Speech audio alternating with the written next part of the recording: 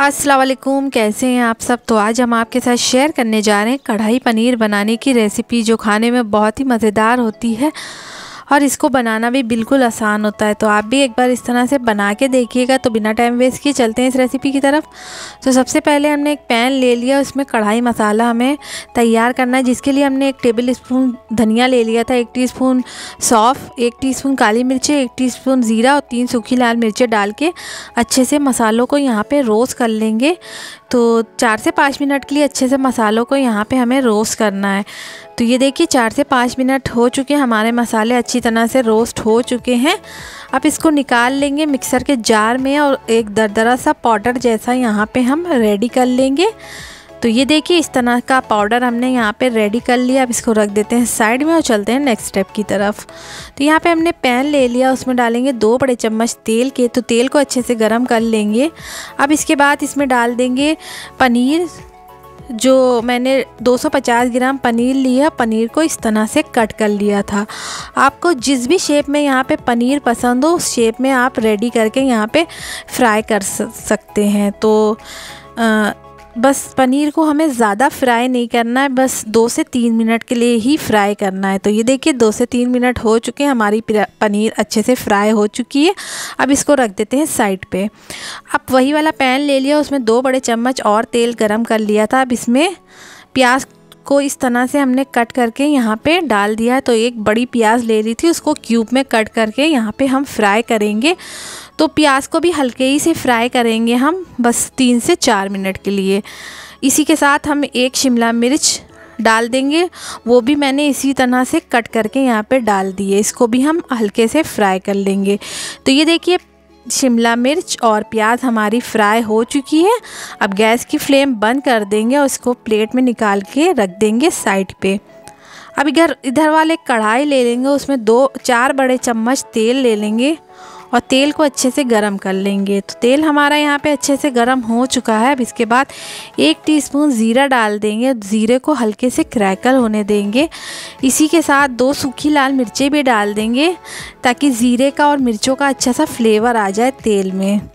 अब इसी के साथ एक प्याज ले ली थी मीडियम साइज़ की, उसको बारीक चॉप करके यहाँ पे डाल दिया है। अब प्याज को तीन से चार मिनट के लिए अच्छे से फ्राई कर लेंगे। जब तक फ्राई करेंगे, जब तक प्याज हमारी हल्की सी सॉफ्ट नहीं हो जाती, इसका कलर नहीं चेंज हो जाता। तो ये देखिए, प्याज हमारी सॉफ्ट हो चुकी है, हल्का सा कलर चेंज हो चुका है। अब इसी के साथ इसमें डाल देंगे दो टी अदरक लहसन का पेस्ट और अदरक लहसन का पेस्ट भी यहाँ पे अच्छे से भून लेंगे, ताकि जो अदरक लहसन का यहाँ पे कच्चापन हो, वो यहाँ पे निकल जाए।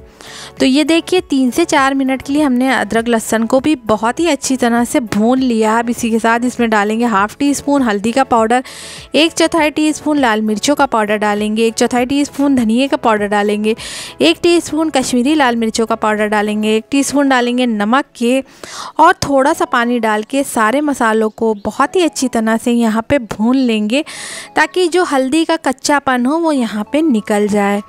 तो ये देखिए, दो से तीन मिनट के लिए मसालों को बहुत ही अच्छी तरह से हमने भून लिया है। ऑयल भी अच्छा सा सरफेस पे आ गया अब इसी के साथ डाल देंगे एक टमाटर जो मैंने पेस्ट रेडी किया था, वो यहाँ पे डाल दिया है। और डाल के इसको भी अच्छे से भून लेंगे ताकि जो टमाटर का पानी हो, वो यहाँ पे निकल जाए। तो तीन से चार मिनट के लिए अच्छे से टमाटर को भी यहाँ पे हमें भूनना है। तो ये देखिए, टमाटर को भी बहुत ही अच्छे से तीन से चार मिनट के लिए अच्छे से भून लिया। ऑयल भी अच्छा सा सरफेस पे आ चुका है। अब यहाँ पे पनीर डाल देंगे। पनीर जो हमने फ्राई करी थी, वो यहाँ पे डाल देंगे। तो सारी पनीर यहाँ पे डाल देंगे। इसी के साथ शिमला मिर्च, प्याज जो हमने फ्राई करी थी, वो भी डाल देंगे। इसके बाद जो एक टमाटर ले लिया था, छोटा सा, उसको भी क्यूब में कट करके यहाँ पे मैंने डाल दिया है। और सारी चीज़ों को बहुत ही अच्छी तरह से यहाँ पे हम मिक्स कर देंगे। तो बहुत ही अच्छी तरह से हमने सारी चीज़ों को मिक्स कर दिया। मिक्स करके यहाँ पे जो हमने कढ़ाई मसाला रेडी किया था, वो यहाँ पे डाल देंगे। तो मैंने यहाँ पे चार टेबल स्पून के करीब कढ़ाई मसाला डाला है। डाल के सारी चीज़ों को बहुत ही अच्छी तरह से यहाँ पे हम मिक्स कर देंगे। और मिक्स करके यहाँ पे आधा कप पानी डाल देंगे ताकि अच्छी सी ग्रेवी यहाँ पे हमारी बन जाए। तो सारी चीज़ों को अच्छे से मिक्स कर देंगे और मुझे यहाँ पे थोड़ा नमक कम लग रहा था तो मैंने यहाँ पे हाफ़ टी स्पून के न, करीब नमक डाला है। आप भी चेक करके यहाँ पे नमक डाल दीजिएगा। अब हम इसको ढक के पकाएँगे 10 मिनट के लिए। तो यहाँ पे लिड लगा देंगे और इसको ढक के पकाएँगे 10 मिनट के लिए लो टू मीडियम फ्लेम पे। तो ये देखिए 10 मिनट हमारे हो चुके हैं। हमारी पनीर बहुत ही बढ़िया सी यहाँ पे बन चुकी है। सारी चीज़ों को एक बार और बहुत ही अच्छी तरह से हम यहाँ पे मिक्स कर देंगे। तो सारी चीज़ें बहुत ही अच्छी तरह से हमने मिक्स कर दी हैं।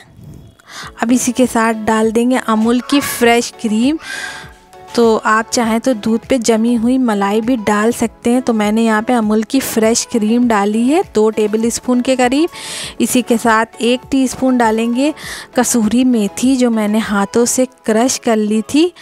और सारी चीज़ों को एक बार और बहुत ही अच्छी तरह से मिक्स कर लेंगे। अब यहाँ पे चार से पाँच टेबल स्पून पानी के डाल देंगे ताकि एक अच्छी सी ग्रेवी यहाँ पे बन जाए। और इसको ढक के पकाएँगे सिर्फ़ पाँच मिनट के लिए। तो मैंने एक बार और यहाँ पे लिड लगा दी है। तो पाँच मिनट हो चुके हैं, हमारी पनीर बहुत ही बढ़िया सी बन के रेडी हो चुकी है। देखिए कितनी बढ़िया लग रही है, माशाल्लाह सुबहान अल्लाह सारी चीज़ों को एक बार और अच्छी तरह से यहाँ पे हम मिक्स कर देंगे। तो चलते हैं इसके फाइनल लुक की तरफ़। तो माशाल्लाह सुबहान अल्लाह बहुत ही ज़बरदस्त, बहुत ही शानदार बनी थी हमारी कढ़ाई पनीर। तो आप भी एक बार इस तरह से बना के देखिएगा। तो वीडियो कैसी लगी, कमेंट सेक्शन में ज़रूर बताइएगा। वीडियो पसंद आए तो लाइक और सब्सक्राइब करिएगा। मिलते हैं फिर नेक्स्ट वीडियो में। तब तक के लिए टिल देन अल्लाह हाफिज़।